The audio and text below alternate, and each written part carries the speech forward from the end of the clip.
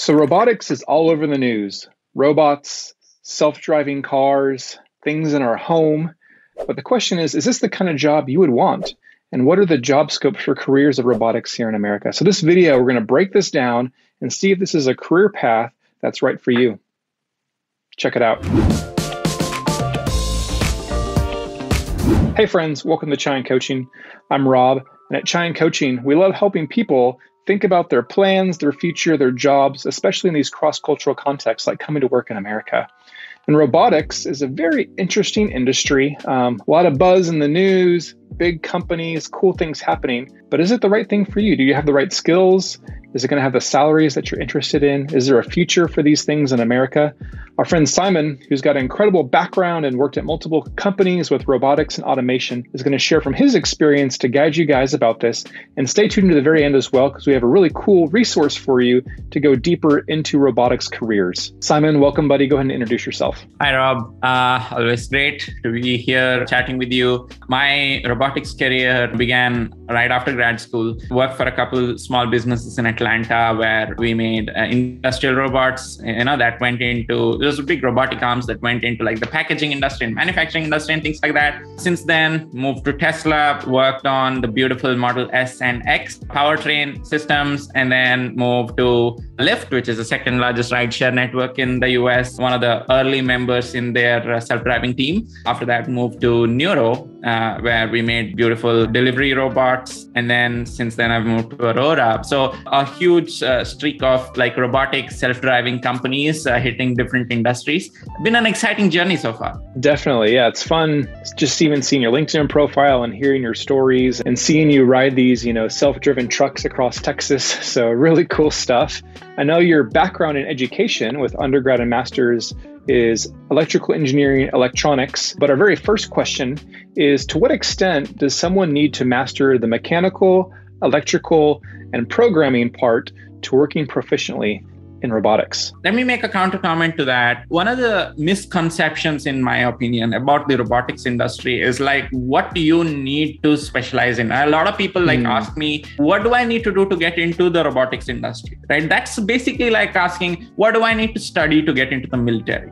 The military has jobs for people of pretty much any skill set. If you are an accountant, you can still get to the military. If you are, you know, like a mechanical engineer, you can still get there. If you're software engineer, you can still get there. Uh, any uh, sort of discipline you can still get. The same is true for robotics. But robotics companies are companies, they are businesses. So they need like business people. In many cases, they need marketing and sales people. In many cases, they need like accountants. On the other end, they build products that are heavily technical in nature, which are hardware and software in majority of the cases. So, software engineering, data science, mechanical engineering, electrical engineering, a combination of those, mechatronics, and niche specializations of all of these it's all of these fields beautifully coming together to make a product and make it economically or, or like make it make business sense right? Uh, mm-hmm. that's what makes a robotics company successful. So think of it as a as an industry rather than a specific job that you need to go to school for. Now i'm saying this but even then each of the areas that you're in, be it business or technology, whatever kind of engineering, there are certain things you could be doing though to prepare yourself in your specific field for the robotics industry. That is true. Mm-hmm. So it sounds like there's a place for just about anyone in this industry, but what should an incoming robotics student maybe focus on, especially so they can be job ready? I would say be doing a lot of projects. I think uh, no matter which field you're in, like let's say you're a software engineer or let's say you're an electrical engineer, the types of projects you do help you get head start in respective types of industry. For example, if a software engineer does a lot of data science projects or like pure software kind of projects, then they have a good idea or maybe a good thing to feature on their resume to get into those fields or maybe to pivot to data science or something like that. For robotics, you know, if you want to get into the robotics area, I would say grab some open source tools and let's say you're a software engineer. Try to do some soft core software work that's relevant to a robot and try to see how you can integrate it such that it controls a piece of hardware successfully, right? Like can start anywhere from an Arduino and go up the food chain there. If you are in like an electrical engineer or a mechanical engineer, look at projects that you can do that specifically relate to robotics the electrical components of robotics or the mechanical aspects of robotics, and then team up with a, a super interesting software engineering buddy and build a robot on your own. I honestly would say, and I think a lot of professors would beat me up for this, but I learned more out there in the world doing stuff than in any classroom in my life. So spend less time in classrooms. I don't think it's worth it spending time in classrooms. Yeah, I say practice makes perfect. So the more projects you can do, the more hands-on things you can do, competitions, you know, that's where the good stuff is. And that's the the proof that shows that you know what you're doing that recruiters really look for. And thinking about jobs, Saiman, what are some of these booming career opportunities in robotics right now? Instead of fishing let me tell how to fish, right? Like, so you look at the economy in general, look at where the leverage points are. Transportation is a huge leverage point, right? Like, there's massive value in transportation. And that's why there's like billions and billions of dollars being invested in the whole self driving industry because it eventually makes the roads more safer and it helps uh, introduce a new economics into the system and makes things more cost effective and things like that, right? So, self driving self-driving vehicles. There's a lot of companies now. Uh, back when i started in self-driving there were like a handful of them. There are a lot of opportunities now a lot of uh, investment in that space. But if you also pivot and look at like let's say manufacturing. I think manufacturing is another place which will be hugely impacted by robotics. It already is but then the more advanced level of robotics completely robotic factories things like that that is where the change is also coming. And then you look at more household kind of or like consumer kind of uh, applications right? Like those humanoid robots that work in homes and stuff like that. I would say those are relatively you know general use case and they probably will take a longer time. And there are not that many companies that go after go, that are going after that problem yet. But then as time progresses we'll see companies sort of evolve to that idea. I know tesla is already starting their humanoid robot but there are other companies as well. Hmm, very cool. Yeah i would love to see some pictures and prototypes of some of those things. Mm-hmm. but Saiman do you have any tools and favorite resources that you would recommend for people to learn things like robotics hardware and software the right way? If you are, if it's like the very, very, very first time you are touching anything related to robotics, I'd say start slow, right? Like, I mean, start start something, start with something very basic, right? Probably like an Arduino. Uh, uh, there are kits that they use to teach like robotics uh, to people in schools. Uh, get those and then try to understand like what a PID control is to control a motor and things like that. So that's like the very basic side. And then there are uh, plenty of open source tools like OpenCV for computer vision, and uh, you know uh, you can literally spend uh, an afternoon googling all this. You'll get like a ton of open source resources which are free essentially. So just jump right in into those resources. Try to build something. Just try to come up with like a product use case saying, okay, I'm just going to build a robot that will trace a line or something like that. And then go build it. Add another use case to it. Hey, can I work on an arm on this robot so it will trace a line, stop where I want, pick something up, and then you know you get this full product ideas that you build on and then suddenly you're building something and getting excited about it and then you know the language people are talking in the industry in the robotics industry and then that's how you know you get yourself up to speed by doing stuff. Definitely. Before we cover a couple more topics my friends if you're loving this video gaining a lot of insight and learning a lot give a big like and thumbs up to this video to say thanks to Saiman for hanging out sharing about robotics. And our chat question for you guys is what robotics company do you want to work for? There's so many. I mean, Saiman's already worked for several here in America. Which robotics company would you be super excited to work for? Tell us in the comments. Would love to see what you guys are thinking, what you're aiming for. But Saiman, how can someone stay updated and relevant in a very fast paced, multidisciplinary field that changes a lot like robotics? The things that I learned in robotics like a couple years ago are already probably obsolete right? Like wow there's, that's there's, crazy.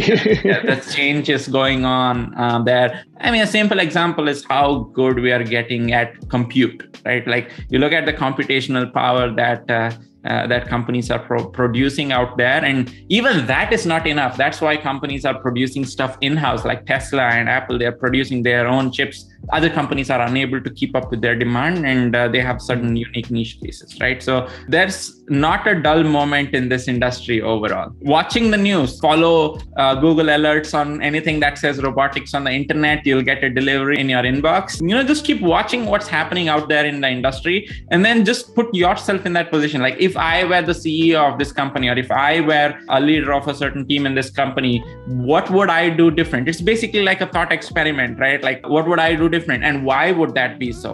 Uh, and then go test that hypothesis out talk to a bunch of people saying hey wouldn't it be good this way? Just reading stuff and learning stuff makes it like a one way street but you thinking about hey was that a good decision? Or could it have been done this way? That really stimulates a lot of creativity in you. And there are second order or third order benefits to this because when you get thrown a certain problem you'll have already thought about it in a certain way and then you'll have more perspective to add to that conversation than reading or just consuming news. Definitely yeah. And even attending conferences industry events being a part of certain professional societies those are also great ways to network learn meet people and see presentations of what's on the cutting edge. Exactly yeah. All right Saiman so you've got something an idea in the pipeline about robotics how to help other people out go ahead and tell us about this cool resource yeah, one of the uh, most underestimated fields, in my opinion, is robotics. And uh, eventually, robotics is the culmination of uh, most of it in a certain industry, right? So, my goal is to create, a, you know, a, a resource in the form of a program, could be a course, a program, basically that will help you take whatever you learned, all the, uh, you know, the field that you're in, right? Do the right things for the uh, you know to make you ready for the robotics industry or self-driving industry whatever it is and then take the right action to get into that industry. This is a, a resource a course that i'm i'm creating the in partnership with a lot of industry experts because i'm an electrical and electronics uh, engineer. I've over time gained good understanding of software engineering and all those fields for me to make sense of a conversation that people might be having but i am like rallying experts in the industry that are working in the robotics industry already in their respective fields, be it software engineering, data science, whatever, and then building these courses very bespoke and specific to, hey, if you are a data scientist, these are the things that you can do to get into robotics. If you are an electrical engineer, those are the things. A large amount of my effort is going into this these days. Uh, and uh, yeah, stay tuned for that. Uh, I think uh, I think this will be a really exciting resource uh, that will help a lot of people, you know, actively for sure. And we're going to have a link in the video description and comments if you guys want to sign up and be in the loop about future things launching with this robotics course from Saiman. It'll kind of put you guys in the, the waiting room uh, for this thing to be developed later this year. So go ahead and sign up. That way you'll be in touch and Saiman will know that you're someone who's really interested in robotics and he can help mentor and guide you in your own robotics careers. My friends, we've also made another amazing video with Saiman about green cards. Um, he's got a smart green card course to help people get a green card and a pathway towards citizenship. Saiman has great resources and talks about the EB1 Einstein Visa green card path here in America. So don't miss that video if you also want to learn more about green cards and long-term work opportunities in America. So Saiman, thanks so much. This has been fun. I love learning about robotics. I love just the tangibility, the hands-on, the fun, the cutting edge stuff that you guys are doing. And I hope more people really pursue these careers. Same here. Go ahead and uh, put your email down in that uh, web page and uh, give you a good discount. Definitely, definitely. And friends, be sure to connect with us online on social media as well Instagram, LinkedIn. Saiman posts a lot there as well. You can learn some great things from him. Be sure that you're subscribed to the Chai and Coaching e newsletter for updates, tips, and other resources. And we always love having you guys hang out with us in Chai and Coaching. You're an amazing community. Thanks for tuning in, and we'll see you next time. Cheers.